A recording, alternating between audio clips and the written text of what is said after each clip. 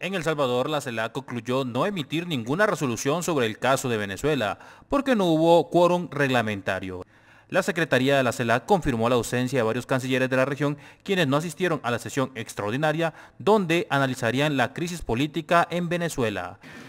Aunque hay algunos ministros de Relaciones Exteriores de la región que por motivos de agenda no han podido acompañarnos, agradecemos igualmente a los países que están participando por medio de delegados de los señores o señoras cancilleres, quienes también han expresado su entera voluntad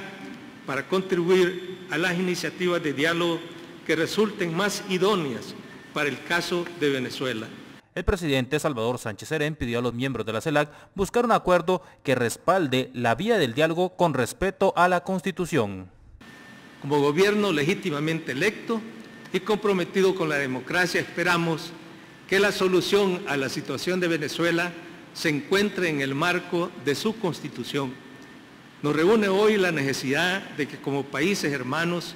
y en consonancia con la solidaridad que profesamos desde la CELAC, sumemos esfuerzos para que Venezuela pueda encontrar muy pronto la paz y estabilidad que anhela. El presidente de El Salvador, que ejerce la presidencia pro tempore de la CELAC, lamenta la inasistencia de los cancilleres.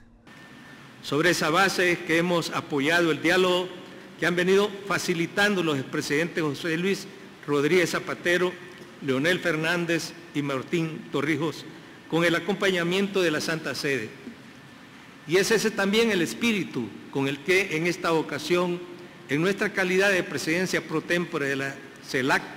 hemos atendido la solicitud de la República Bolivariana de Venezuela para realizar esta reunión extraordinaria de cancilleres de la comunidad, pues sin duda es apremiante que este proceso se revitalice